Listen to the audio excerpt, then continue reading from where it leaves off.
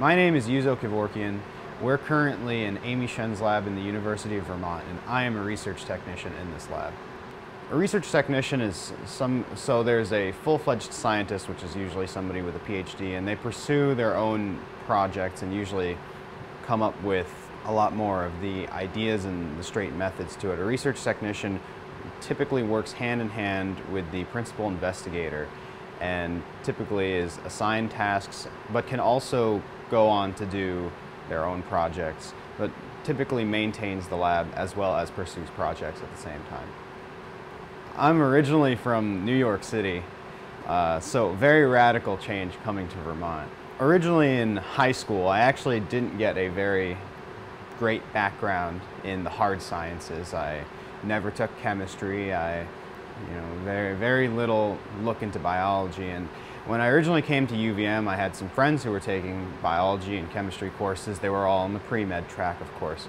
And I decided, well, I might as well take a look. It can't hurt. I'm a freshman. And uh, everybody had told me how grueling and horrible it was, but I actually ended up really enjoying chemistry and biology more so, I originally thought I'd be a computer scientist, but I, I ended up liking biology much, much more. My, my parents are the farthest thing from scientists. My uh, dad makes music and my mom is an artist. So they were originally intending for me to be a musician, but that didn't really work out. So I uh, streak plates now.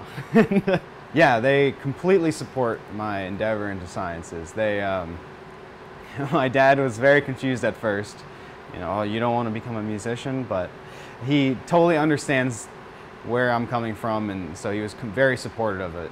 Well, I originally we have an introductory course here at University of Vermont, which is the MMG 101 or introduction introduction to microbiology, essentially, and infectious disease.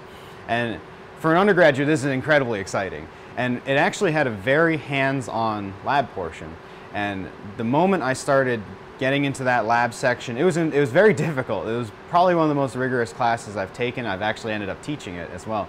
But we started streaking plates and learning about all these infectious diseases and I was definitely hooked. It's, it's a lot of hard work, it's a lot of long hours, but it's very rewarding. You know, you get to discover something, you get to be a part of finding something new that no one's ever found. You know, you are the pioneer of this field. It's like a pretty cool feeling. I mean, it's a lot of fun. It, I'm surrounded by great people. I love the environment. Since we are, of course, a microbiology lab, uh, and more specifically, since we work with Clostridium difficile, it's an anaerobic gram-positive microorganism. And so by anaerobic, I mean it does not need oxygen and actually grows better in the presence of in a non-oxygen environment. And so we actually have over there a uh, anaerobic chamber, and inside this chamber we actually put in a gas mix that lacks oxygen, so typically has nitrogen and hydrogen gases and other things like that.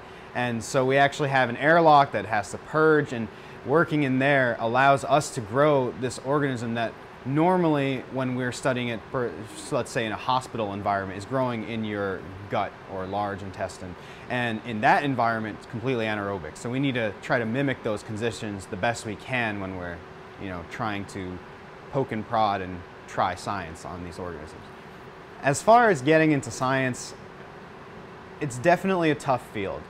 It's definitely a tough field, but it's very rewarding. And the further as you go, you work with fantastic people and the hard, if you work hard, you will be rewarded. That's what I've found in this field. It's not all scientists are all knowing, you know, people. Like, I know what I work on. And that's really what makes a good scientist is they need to be good at what they work on.